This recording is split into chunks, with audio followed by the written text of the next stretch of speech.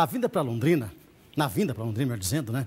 O governador Ratinho Júnior também assinou a ordem de serviço para a construção dos três novos prontos atendimentos. O investimento é de mais de 10 milhões de reais e a previsão de entrega da obra é de um ano e meio. Silvano Brito tem os detalhes.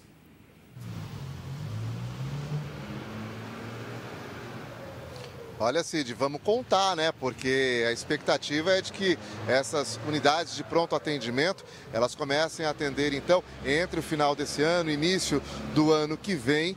E o investimento de cerca de 10 milhões e meio do governo do estado e do município em torno de 5 milhões. O município também doou os terrenos para as construções dessas unidades de pronto atendimento que ficam Zona Norte, Zona Sul e na Zona Leste. A gente espera então que essa obra comece já a ser executada. Alguns terrenos já começaram a ser limpos e a assinatura da ordem do serviço foi feita hoje, como explica para a gente o secretário de Saúde, Beto Preto.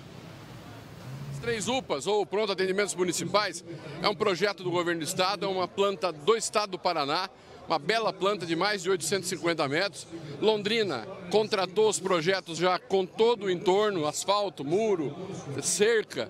Então nós vamos colocar 10 milhões e meio por três, três UPAs, três PANs, e Londrina vai complementar com mais 5, 4 milhões e meio, 5 milhões. É um salto de qualidade para a população. A Zona Sul, a Zona Norte e, posso estar errado, Zona Leste. São três regiões da cidade que vão ter atendimento 24 horas por dia facilitando o encaminhamento para os hospitais e principalmente dando atendimento à população que precisa, precisa desse atendimento fora de horário. Previsão de início de obra e já atendimento? É, ordem de serviço agora, a obra vai, vai decorrer um ano, um ano e meio. Nós vamos ter uma, esses serviços implementados a partir de julho de 25, meados de 25.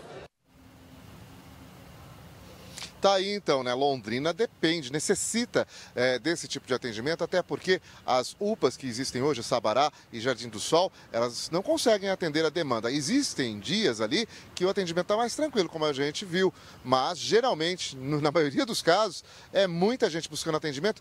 E outra coisa, tem muita gente de Cambé e Biporã que vem buscar, assim, atendimento de saúde em Londrina e é importante que Londrina esteja estruturada para isso. Cid.